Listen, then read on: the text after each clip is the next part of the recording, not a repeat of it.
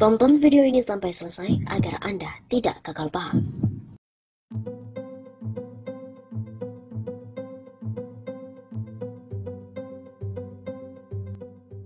Skakmat Jokowi bilang masalah Jakarta hanya ada dua, macet dan banjir. Tapi warganet nampol, masalah Indonesia itu cuma satu, elu. Presiden Joko Widodo menilai bahwa persoalan di ibu kota Jakarta itu hanyalah banjir dan macet. Dua masalah tersebut sedang diselesaikan. Hal tersebut pun terungkap dalam acara diskusi Presiden Jokowi dengan wartawan di Balikpapan pada hari Rabu kemarin.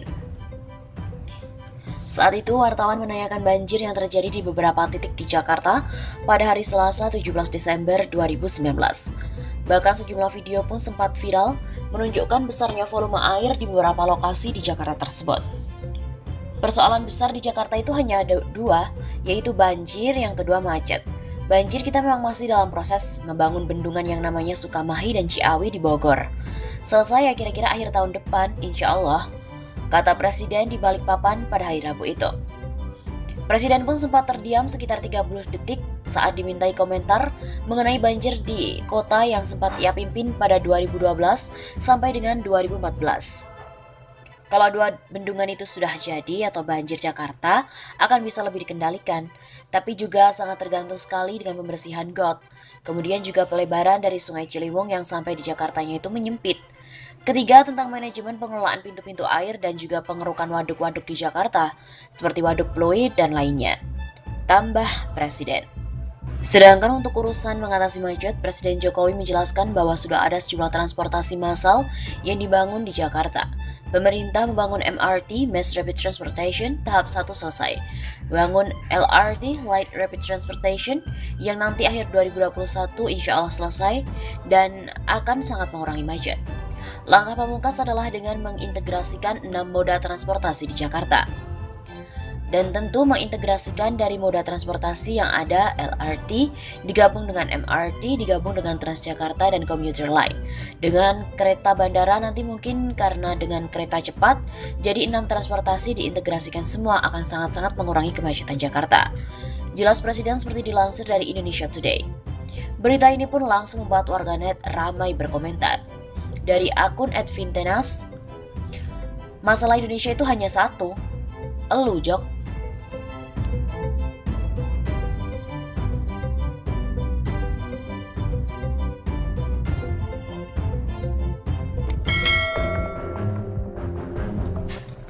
Saran Jokowi dijawab anak buah Anies.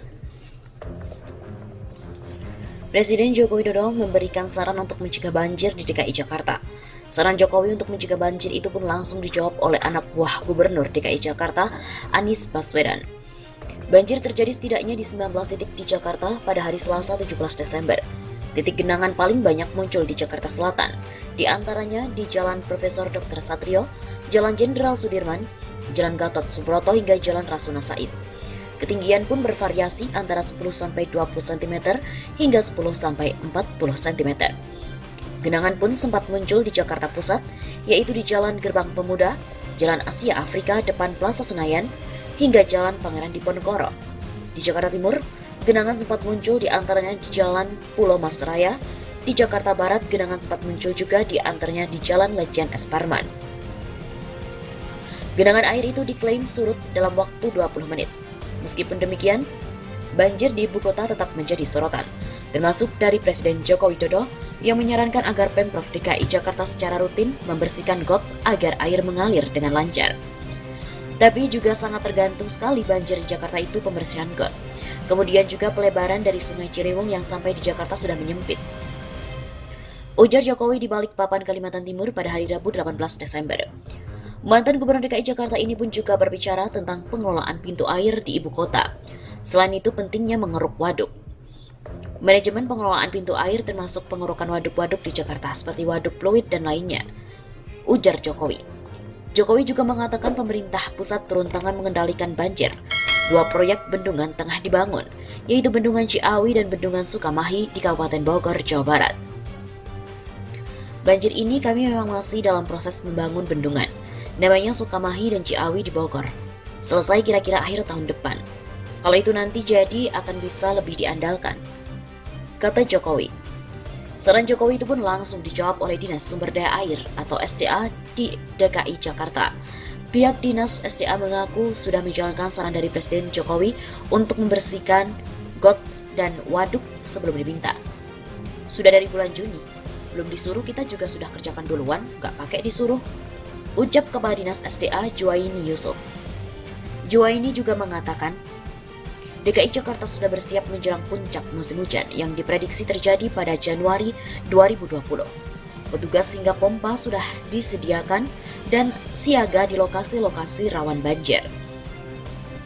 Semua personel yang ada di SDA siap jaga dari kemarin-kemarin. Petugas pompa mobil sampai satgas-satgas yang ada di lima wilayah semuanya juga sudah standby.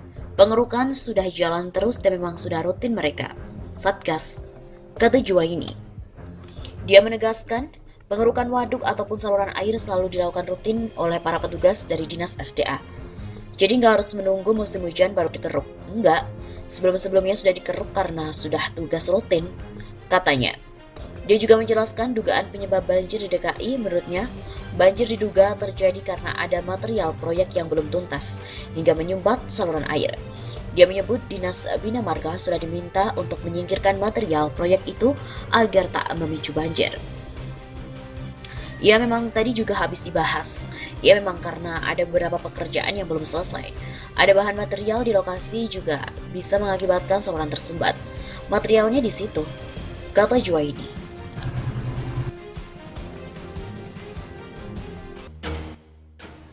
Lucu kalau Pak Jokowi itu kesal. Pak Jokowi sangat kesal melihat impor migas dan baja yang sangat besar, sehingga mengganggu produk lokal. Lalu meminta BKPM dan Menteri Kemaritiman serta Investasi untuk memperhatikan bawah-bawah kekesalan ini. Lucu kelihatannya dan seperti main-main, karena impor itu bukan dengan sendirinya datang, tapi akibat kebijakan pemerintah juga. Jika keran ditutup, pasti impor tak ada satu atau sekurang-kurangnya lah mengecil. Sebagai contoh banjirnya impor baja sebab utamanya adalah peraturan. Menurut catatan Asosiasi Besi Baja Indonesia, justru Permendak 110 tahun 2018 tentang ketentuan impor besi baja, baja paduan dan produk turunannya yang menghapuskan pertimbangan teknis sebelum impor baja adalah sebuah penyebab.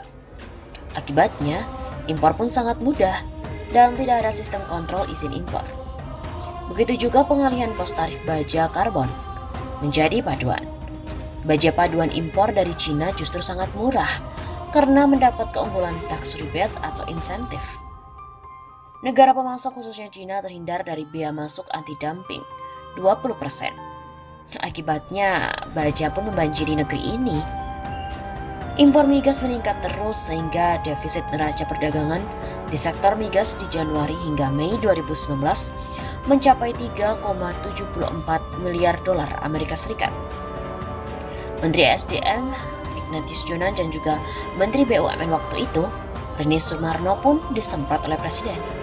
Jokowi kesal. Menurut Wakil Menteri SDM Archandra, impor disebabkan adanya peningkatan kebutuhan BBM untuk angkutan jalan tol. Nah lucu kan? Karena Presiden justru sedang gencar-gencarnya membangun infrastruktur jalan tol. Belum lagi soal 20 ribu ton beras yang busuk dan terbuang akibat cor-coran impor beras oleh Mendak. Hanya belum terberitakan aja teguran Jokowi kepada Enggar Solo kita. Sebaliknya, Jokowi mendukung impor meski sebenarnya beras itu surplus. Konyolnya, Enggar berargumen RI bisa chaos jika tidak impor beras. Jadi kesalnya Jokowi itu sebenarnya kesalnya pada dirinya sendiri yang gara-gara kebijakannya juga menyebabkan impor menjadi tinggi.